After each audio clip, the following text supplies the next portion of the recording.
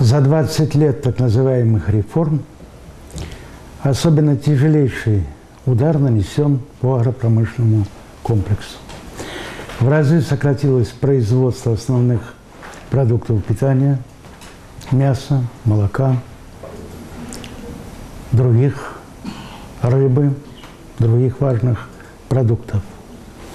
Дело в том, что все эти 20 лет реформы шли за счет ограбления крестьянства и за счет беспредела в землепользовании нашей страны.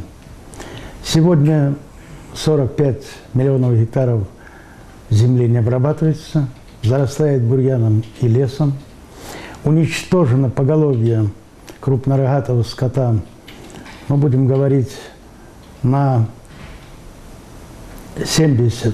70-80%.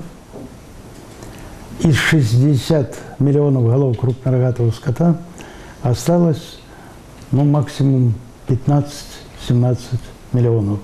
Из 21 миллиона коров осталось где-то 5 с небольшим. Таким образом, резко сокращено поголовье скота, уничтожена огромная база, где содержался крупнорогатый скот, другое поголовье. Это стоит неимоверно больших денег, и все это на совести сегодняшней власти.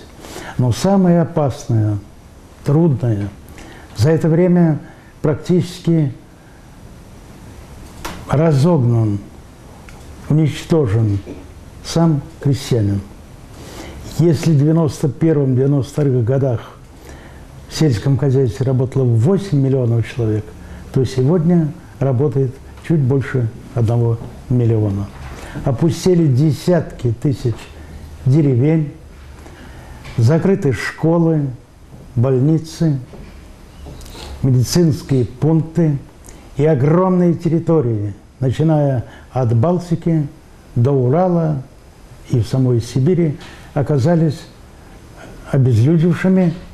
И сегодня десятки тысяч деревень, где живет пять и менее человек. И много таких сел и деревень, которые прекратили свое существование.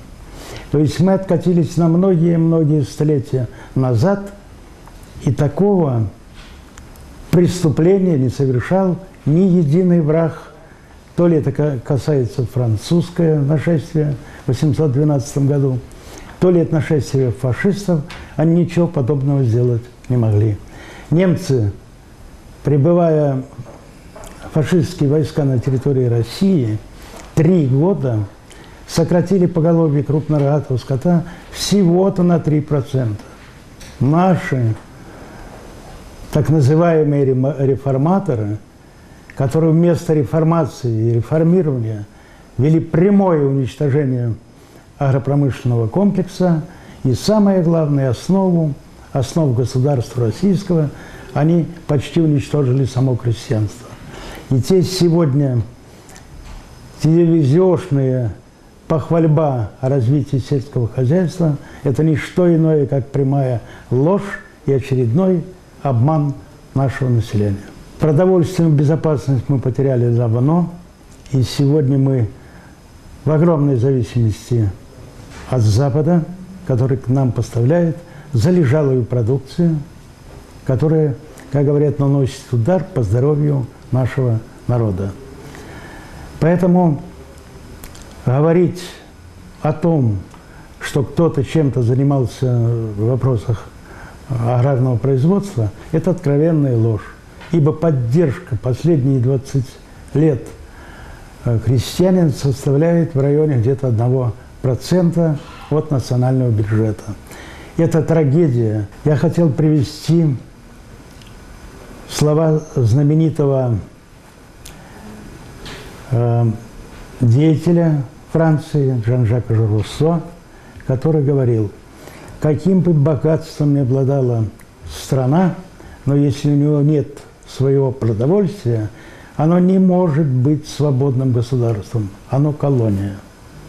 И мы привели страну именно к такому состоянию.